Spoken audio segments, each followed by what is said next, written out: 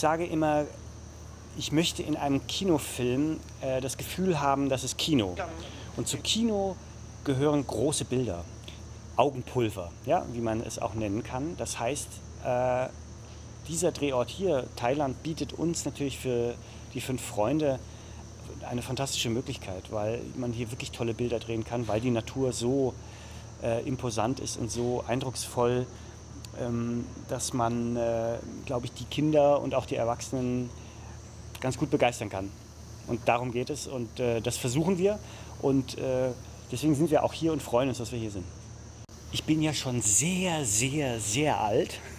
Deswegen kenne ich die fünf Freunde sogar noch aus meiner Kindheit. Ich kann nicht mehr sagen, welche ich gelesen habe, aber ich habe ein, zwei oder drei Bücher gelesen und ich meine, ich hatte eine Langspielplatte, liebe Kinder. Wisst ihr noch, was das ist? Äh, das sind diese großen schwarzen Dinger gewesen, die Vorläufer der CD mit einer Fünf-Freunde-Geschichte, ja.